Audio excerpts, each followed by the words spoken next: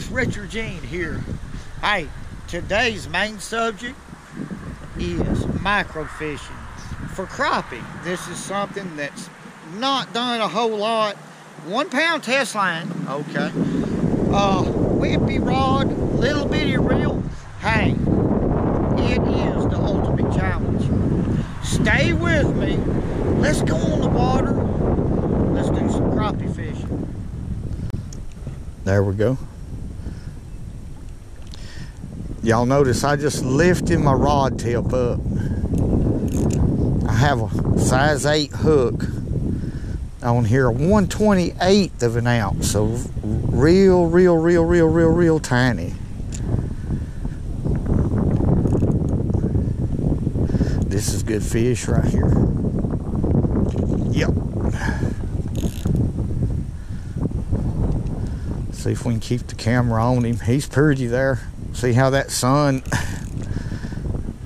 sunlight hits him. Okay, let's get right here and land him. If we can, this is one of them old rocks I'm standing on that's at a 45 degree angle. But I'm gonna be real careful with him. Hey, hey, hey, come here. We want to show y'all right here. Now that's a female. No, it's a it's a male black crappie. Little bitty. He twisted my jig up just a little bit. But ain't that pretty? Let's let that fish go. Let me get down in here, in amongst it. Or let him go there. There he goes. I'm just easing around, picking one off here and there and taking my time, enjoying the day because we're fixing to get some bad weather coming here. I tell you what, uh, on these little bitty jig heads, this is 128th of an ounce with a size 8 hook in it. I always take a pair of pliers and bend the, the hook up because to get it out of line with the eyelet, it'll get a much better bite as far as the hook set. Well, in this case, all I do is lift my rod up and go to reeling. I can't set a hook one pound test line. But let's let it drift right back over the same area and see if there's another uh, fish right here. They should be. Uh, we'll have to go a little farther. Maybe that'll do it. Elmo, get out of these trees and it might.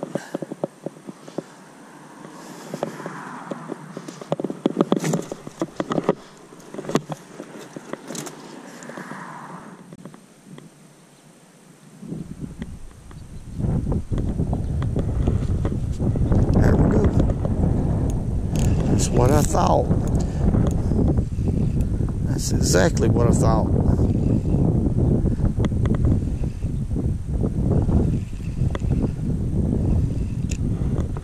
Let me turn around here, folks. I'm in an awkward position. I'm on a, a rock. It's got a point right on top of it.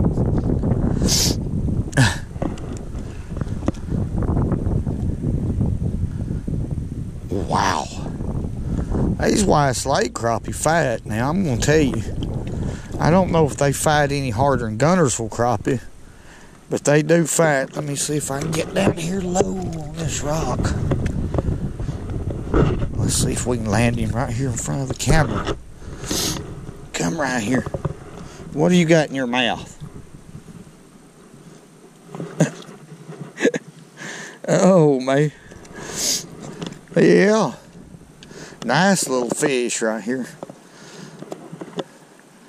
And he shook that jig out, shaking that head.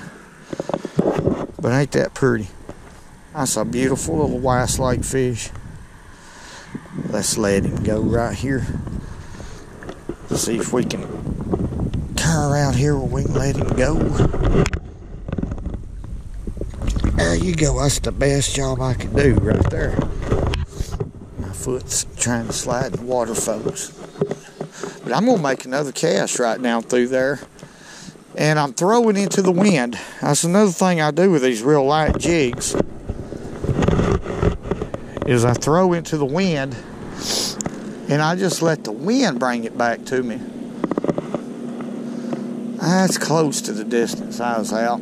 What it is, I have, there's several rocks that's coming out and I'm throwing out in front of them. See, I'm just letting that, the ripples work the jig. Every once in a while, if I'm not satisfied, I'll do a little bit of that to make that tail. Mm-mm-mm. They can't stand it. A crappie cannot stand something in front of their face like that, and it don't ma- it don't make any difference what time of the year. So the depth right here so far has been pretty meticulous. I mean, I've had to work with the depth, and it's probably about close to three feet deep right here is where the fish is. They're batting about three foot deep off these rocks right now. They are. Okay, jig, jig changing time. I'm going to take that inch point seven five off, and I'm going to put this inch and a half on. Now this is the white one. They come in all kinds of colors, but on one pound line, I won't tie a loop knot, but on two pound line, I will to get that give it that seesaw action effect but I don't have to on this slab tail because the tail does the work.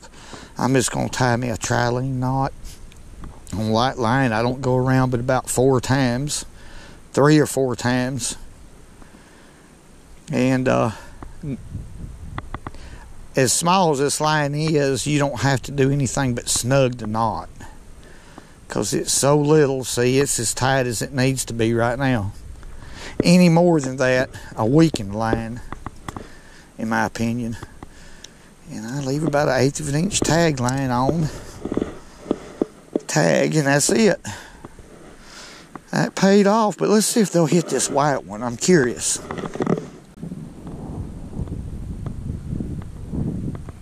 There we go. Wow. Lifting that rod up into that fish or about any with this flimsy rod feels like you're into a, a rock or a stump. But you know you're not. You can immediately feel the head shakes. Golly. That's cutting up, I guarantee. Quick. Real quick. Crappie. There we go. And that's a pretty black crappie. Come on in here. Now, is that not pretty? His cheeks got a little something wrong with it, I guess, from probably bedding in amongst them rocks, in between them rocks. But that's a pretty little black crappie. Golly bum. Let's let him go. That's beautiful. Beautiful Weiss Lake fish. Make another cast right down through there and see if there's another one. I'm shallow this up just a little bit. Not much, but a little bit. These fish is real tight to the rocks right here. There we go. That fish almost slipped up on me. I was looking at my footing because I didn't slip once. It's a crappie, I can tell. Shaky shake. Man, pulled a little drag off. There we go. Back and forth. Man, he's starting to wake up. Ain't that pretty?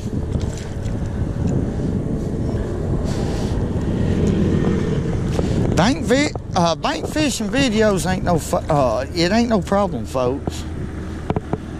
I love it. I can control my bait better. You don't need a thousand dollar boat with stickers all over it and logos and stuff like that to catch crappie.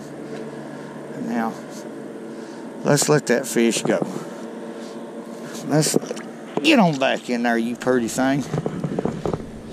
Let's catch another one. That fish hit real quick, so I'm going to Wrong spot, Richard. He hit real quick, so I'm going to throw right back, make a cast right back in the same spot, and see if there's another one. Because he sure did dunk that floater quick. Real quick. That tells me there's a little competition going on. Unless I just hit him right in the head, but that should be another fish right there. Usually they are. There we go. There we go. May loosen off a little bit. That one's fighting a little better than some of them did. Maybe a little bigger.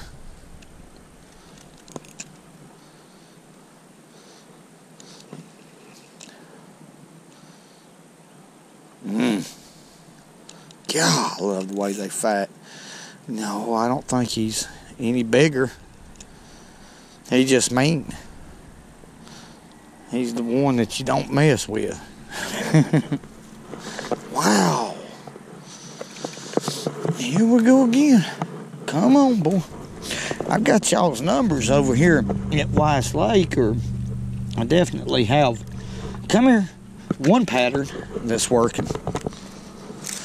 Like I said, they can be uh, several different patterns that work this time of the year.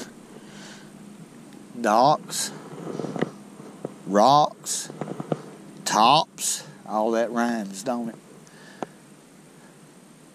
All right. Let's let that pretty thing go. Go on back in there. These fish is probably averaging about 10 to 10 and a half inches long, but they are spunky. Real spunky. Well, that's the end of it, folks. You know, Weiss Lake is a beautiful lake. It, it abounds with stump flats, creek channels, road beds, you name it, it's got it all. But catching crappie off the rocks, just another pattern. It's a good springtime pattern. And I've caught some big ones in the past doing this, I guarantee you, but not today. But I caught some pretty good fish. Hey, in closing, I want to give a special thanks to Mr. Patrick. Now, he lives right here close to Weiss Lake somewhere, and he handmade me some, some crappie counters. Okay, instead of the click type. Well, these won't get in the way of my camera. I can just fasten them to my belt loop, keep up with my fish, and that's a good thing. Because um, when crappie's really biting, you'll catch a limit before you know it. And if you're keeping them, you don't want the game warden to catch you. That's a that's a bad thing. Uh, I tell you what, though, I appreciate all the views uh, the great comments. I've said it I don't know how many times.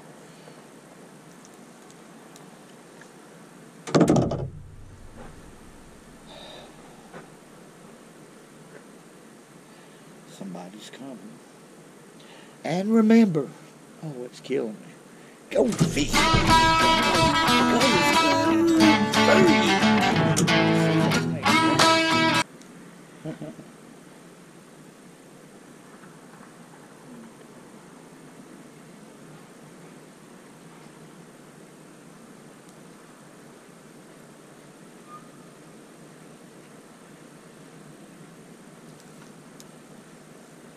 Oh.